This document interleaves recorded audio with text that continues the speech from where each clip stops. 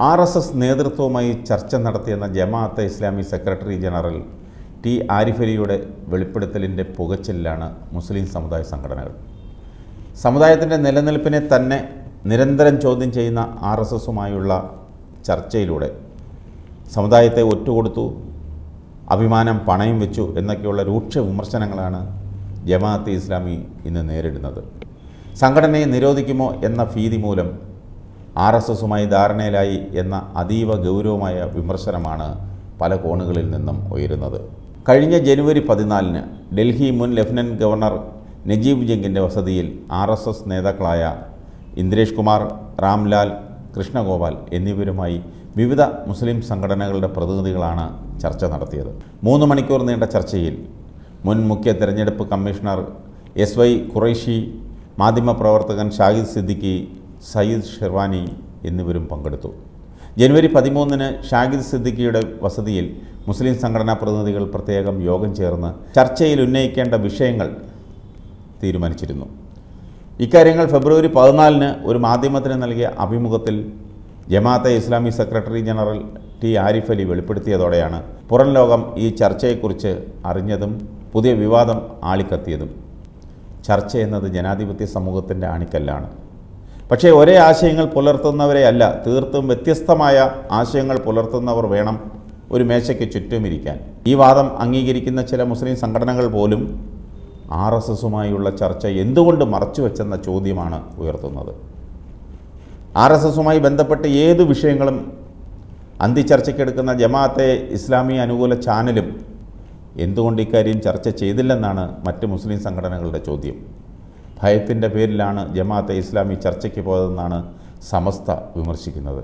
നേരത്തെ ചില മാധ്യമ സ്ഥാപനങ്ങൾ നിരോധിക്കാനുള്ള നീക്കങ്ങൾ കേന്ദ്ര സർക്കാർ നടത്തിയിരുന്നു. ഇതിന് പിന്നാലെ ജമാഅത്തെ ഇസ്ലാമിയെ തന്നെ നിരോധിക്കാൻ നടപടിയെടുക്കുമോ എന്ന ആശങ്ക ഭയം നേതൃത്വത്തെ പിടികൂടിയിട്ടുണ്ടെന്നും സമസ്ത പരിഹസിച്ചു. സമുദായത്തിന്റെ അഭിമാനം പണയം വെച്ച് പേടിച്ച് ജീവിക്കുന്നതിന് പകരം സംഘടനയെ തന്നെ പിരിച്ചുവിട്ട് സമുദായത്തിന്റെ പൊതുധാരയിൽ ലയിക്കണമെന്നാണ് സമസ്ത സെക്രട്ടറി ഉമർ ഫൈസി പറഞ്ഞത്.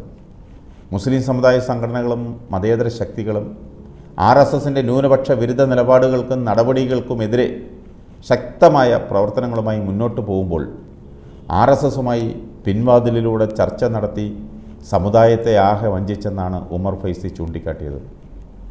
കോഴിക്കോട് നടന്ന മുജാഹിദ് സംസ്ഥാന സമ്മേളനത്തിലേക്ക് ബി നേതാവും ഗോവ ഗവർണറുമായ പി എസ് ശ്രീധരൻപിള്ളയെ ക്ഷണിച്ചത് മുസ്ലിം സമുദായ സംഘടനകൾക്കിടയിൽ കോലാഹലം സൃഷ്ടിച്ചിരുന്നു. വെള്ളിയാഴ്ച പള്ളികളിൽ ഉൾപ്പെടെ ഇക്കാര്യം ചൂണ്ടിക്കാട്ടിയിരുന്നു.